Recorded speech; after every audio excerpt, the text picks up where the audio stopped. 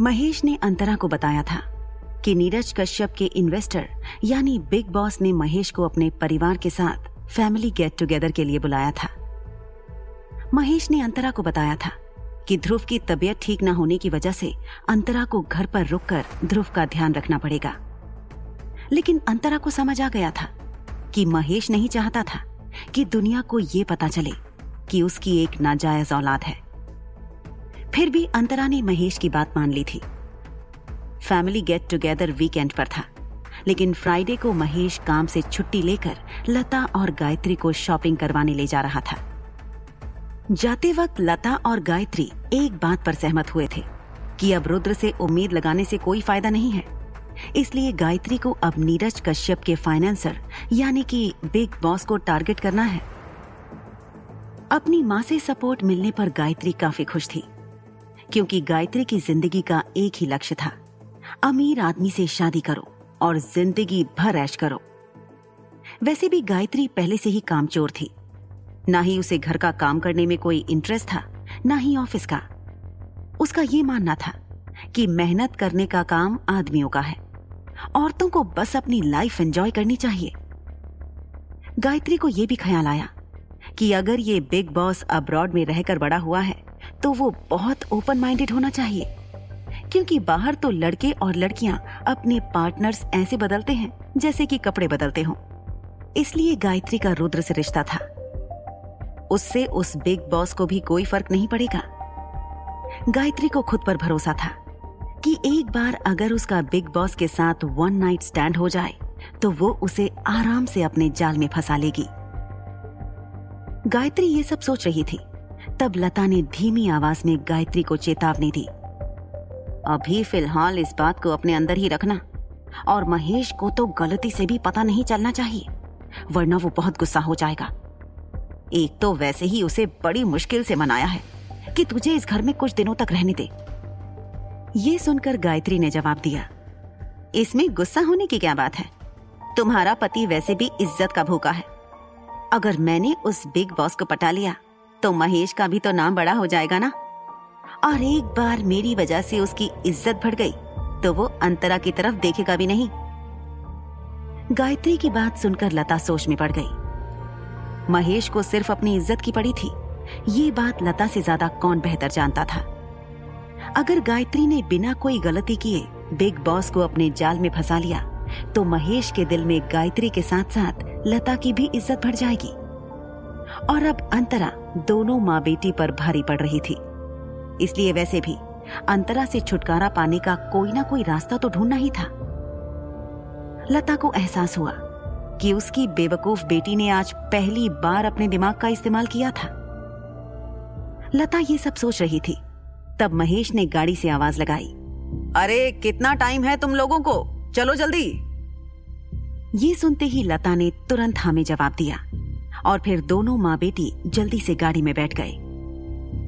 अंतरा घर के दरवाजे पर खड़ी गाड़ी को गेट से बाहर जाता देखती रही। दोपहर होते ही ध्रुव को भूख लगी। अंतरा ने उसके लिए दलिया बनाया और ध्रुव के पास बैठकर अपने हाथों से उसे खिलाया। हमेशा शैतानी करने वाला बच्चा आज एक गुड बॉय बन गया था। बेस्वाद दलिया भी उसने चुपचाप खा लिया। हालाँकि अंतरा को ये बेअदब लड़का पसंद नहीं था, लेकिन उसके दिल में ध्रुव के लिए कोई बैर भी नहीं था। दलिया खिलाने के बाद अंतरा ने एक ग्लास में फ्रूट जूस भरा और ध्रुव को दिया। ध्रुव जूस पीने लगा।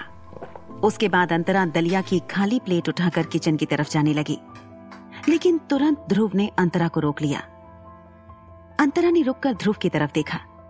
उसे पता था कि ये शरारती बच्चा उसे आसानी से जाने नहीं देगा। अंतरा ने ध्रुव की तरफ़ सवालिया नज़र से देखा। ध्रुव ने अंतरा को पूछा, क्या तुम प्लेट धोने जा रही हो?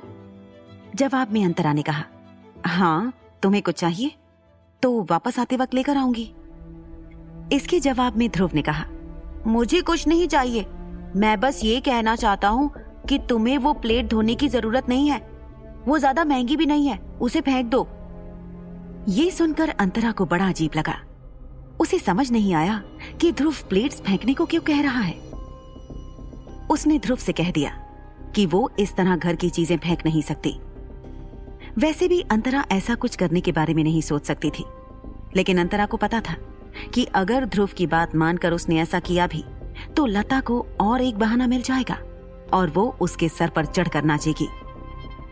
अंतरा ने ध्रुव से पूछा, मुझे बहुत खुशी हुई कि तुम मेरा इतना ख्याल करते हो। कि मुझे प्लेट्स भी नहीं धोने देते। ये सुनते ही ध्रुव ने मुँह फुलाकर कहा हम्म मैं क्यों तुम्हारा ख्याल करूँ? मुझे तो बस ये डर है कि कहीं तुम मेरे घर के प्लेट्स गिराकर तोड़ ना दो। लेकिन तुम हो कि समझ ही नहीं रही? अंतरा ध्रुव से बहस नहीं करना चाहती थी। उसने ध्रुव को भरोसा दिया कि वो बहुत ध्यान रखेगी ताकि कोई प्लेट उसके हाथ से न गिर जाए। लेकिन ध्रुव चढ़ गया कि अंतरा उसकी बात मान क्यों नहीं रही? ध्रुव ने अंतरा को ऑर्डर दे दिया कि जो काम उसने मना कर दिया है, वो अंतरा को नहीं करना है। अंतरा को समझ आ गया कि फिर से ध्रुव अपनी जिद पर उतर आया है। अंतरा ने एक गहरी सांस ली और कहा, ठीक है, मैं प्लेट्स धोने नहीं जाऊँगी, लेकिन उसके लिए तुम्हें मुझे वजह तो बतानी पड़ेगी कि तुम क्यों मुझे मना कर रहे हो? ध्रुव ने जवाब दिया, कोई वजह नहीं है।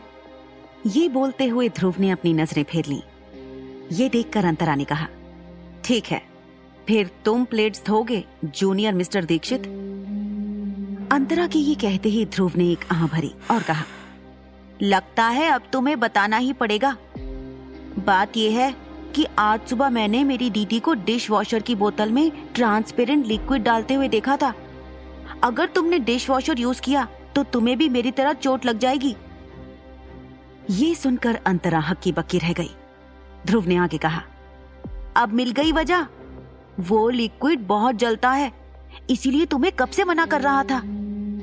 अंतरा ने ध्रुव से पूछा लेकिन तुम मेरी मदद क्यों कर रहे हो?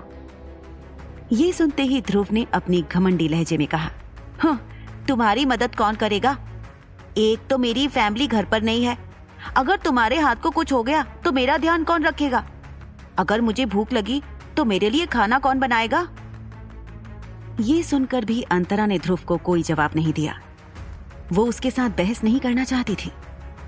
अंतरा सीधा वहाँ से किचन में गई और डिश वॉशर की बोतल उठाकर ध्यान से उसका ढक्कन खोलकर उसे सूंघा। उसमें से डिश वॉशर की स्मेल नहीं आ रही थी।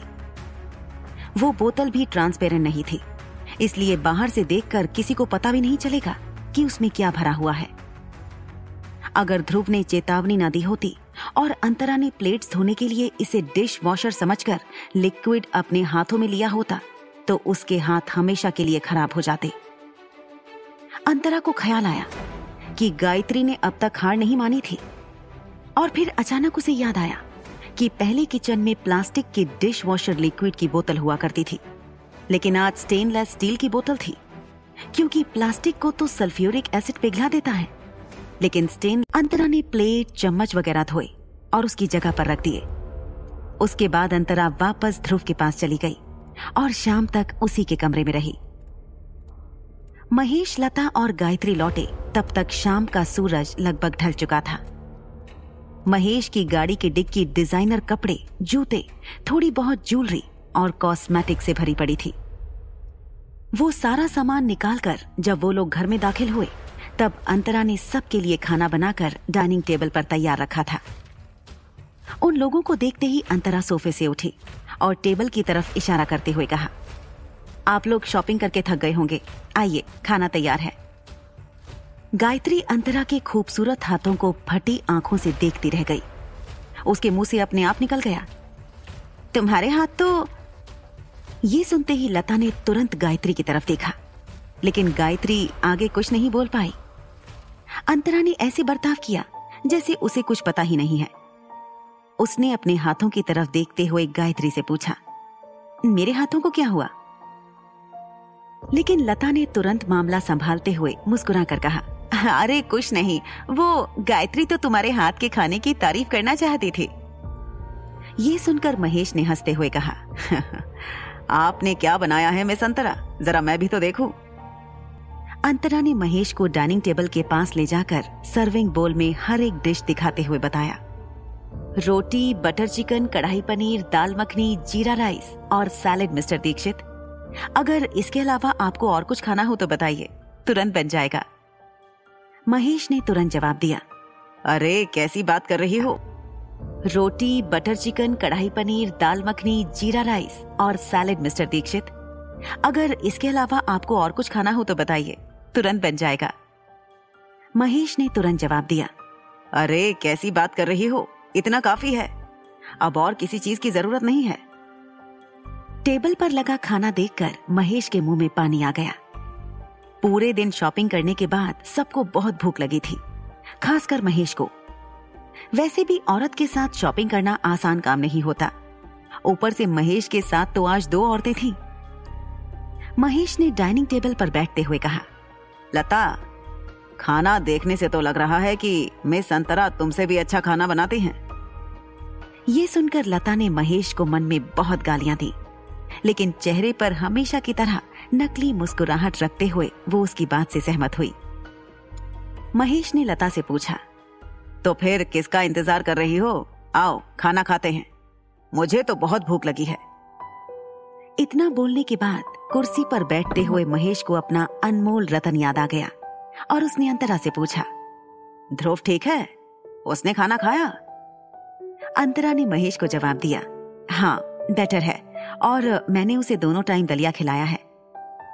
ये सुनकर गायत्री अंतरा को ताना मारने से नहीं चूकी।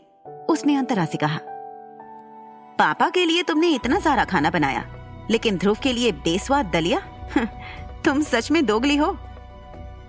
गायत्री की बात सुनकर अंतरा को बिल्कुल गुस्सा नहीं आया।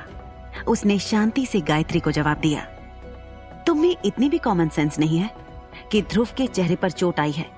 इसलिए उसे तेल मसाले वाला खाना नहीं देना चाहिए, और नॉन वेज तो बिल्कुल नहीं। तुमने कभी किचन में पाँव रखा होता तो पता चलता ना कि कौन सी डिश कैसे बनती है? ये सुनकर गायत्री चौंक गई। वो महेश के सामने अंतरा की बेइज्जती करना चाहती थी, लेकिन उसने सोचा भी नहीं था। कि अपनी कही हुई बात पर वो खुद ही जलील हो जाएगी। गायत्री इतनी गुस्से में थी कि वो अंतरा को थप्पड़ मार देना चाहती थी। लेकिन लता ने उसे इशारा करके चुप रहने को कहा था। और फिर लता ने ही अंतरा को जवाब देते हुए कहा, सबकी अपनी अपनी खासियत होती है। तुमने सही कहा। गायत्री को खाना तो क्या चाय बनाना भी नहीं आता। लेकिन उसके बदले उसने पढ़ाई में मेहनत की है और यहाँ तक कि अब्रॉड में भी पढ़ाई करके आई। जो कि हमारी फैमिली के लिए बड़े गर्व की बात है। लता की बात से सहमत होते हुए महेश ने भी यही कहा कि एजुकेशन बहुत ज़रूरी है। उसके बाद उसने गायत्री की तारीफ़ में कहा, गायत्री ने कम उम्र में काफ़ी अच्छी क्वालिफिकेशन हासिल कर ली है। गायत्री को देखकर मुझे अपना बचपन याद आ गया। लता ने महेश की बात को आगे बढ़ाते हुए कहा, आपने ठीक कहा। गायत्री इतनी स्मार्ट है। फिर भी नई चीज़ों को सीखने के लिए हमेशा तैयार रहती है। वो बिल्कुल आपके जैसी है। लता ने बड़ी चालाकी से गायत्री को एक और बार बेवकूफ़ साबित होने से बचा लिया था। अब अंतरा भी मामले को ज़्यादा लंबा नहीं खींचना चाहती थी। उसके बाद माहौल शांत हो गया और सब लोग खाना खाने बैठ गए। गायत्री भी एक आज्ञाकारी बेटी बनते हुए महेश की प्लेट में खाना परोस रही थी और उसे पापा पापा कह रही थी। उन लोगों को पता नहीं था।